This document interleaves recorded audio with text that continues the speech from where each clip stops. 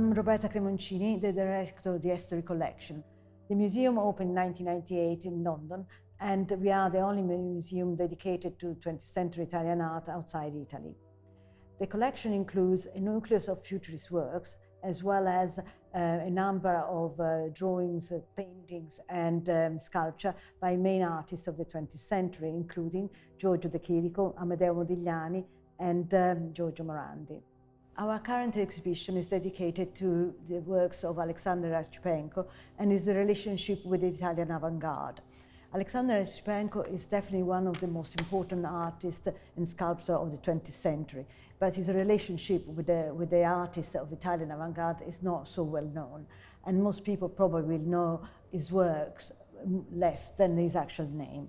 Archipenko was born in 1887 in Ukraine and moved to Paris in 1909, where he met and uh, became uh, very familiar with the Cubist style. But he also developed very much um, interest for the robust and angular forms of the African art. Archipenko was one of the relatively uh, small number of artists which attempted to update the vocabulary of sculpture in the 20th century. And um, up to the point, uh, sculpture was dominated by figures such as uh, Rodin, who were much more interested in the human body. Archipenko was again um, interested as well in, in exploring the human figure, but he didn't want to have uh, um, his sculptures so overworked and very heavy. He was much more interested in streamlining the silhouette and trying to give forms certain angular shapes. This uh, revolutionary approach was very much in line with um, some of the ideas of the futurists. And around 1912, Archipenko became uh, aware of the works and the writings of Umberto Boccioni, the Italian futurist.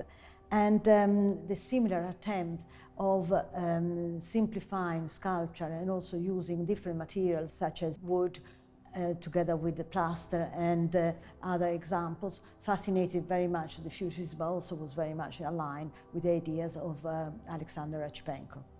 In this exhibition, we can see various parallels between the works of the futurists and Archipenko. For example, um, Severini's Ballerina plus C and the, the ballerina by uh, Archipenko, they share very much the same interest for the movement and also the love of color, which is uh, uh, very much particular of the futurists and not uh, much less uh, present in the Cubist works.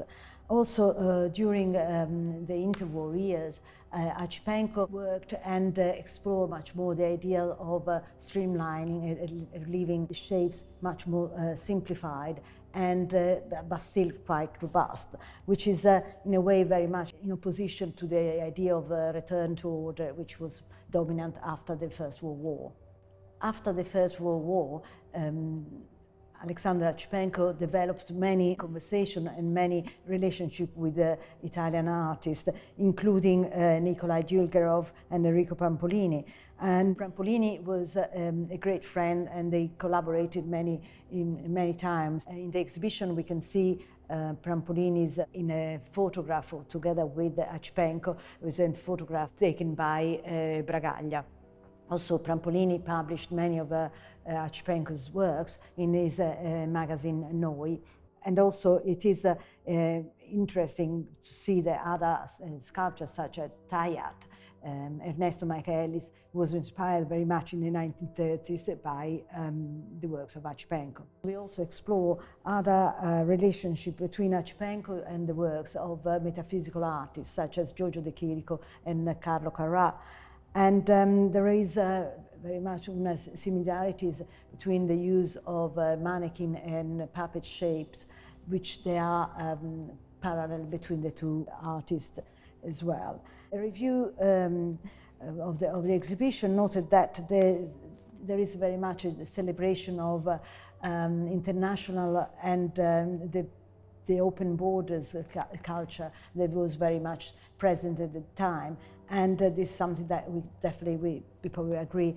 The exhibition is on display until the 4th of September and has been organized with the Archipenko Foundation in New York. The exhibition is also accompanied by a catalogue and um, with an essay by the curator, Maria Elena Versari. And we're looking forward to welcome you during the summer.